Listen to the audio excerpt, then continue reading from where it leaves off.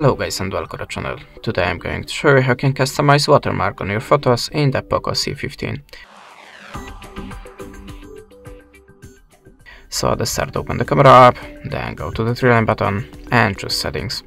Now tap on the watermark, switch on the device watermark and if you want the custom, click here, type your own text and click save. And now go back to the camera and if you take a photo, the customizable image should appear in the bottom corners. That's it. Thanks for the watching, leave us a subscribe or a comment, and goodbye.